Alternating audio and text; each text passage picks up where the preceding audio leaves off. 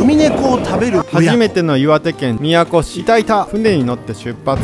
もうね船出てからめっちゃいるんよね ウミネコ。なのでご飯でもあげますちかなみにこのパンは地元のパン屋さんが作ってるみたいです。一口食べたら結構美味しかったよ。だからウミネコめっちゃ喜ぶよね。えなんかキャッチしてんだけど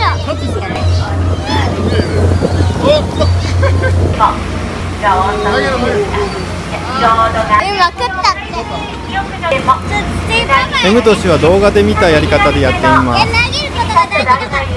投げることが大事。でこいつ投げるエムトシは言うことを聞かない。けどまあ渋々やってみたら。すごっ。ウミネコに餌をあげて楽しんでくれてよかったです。ヨタくん楽しそう。いやこうやってあげたらね鳥の可愛さを知ってしまうよね。鳥が飼いたい最後の一個が一番腹減ってるその後お昼ご飯を食べた僕たちは東日本大震災の被害のあった場所を見ました。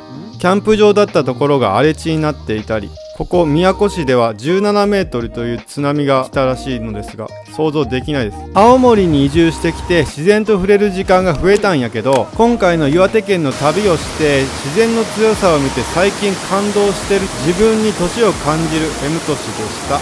またね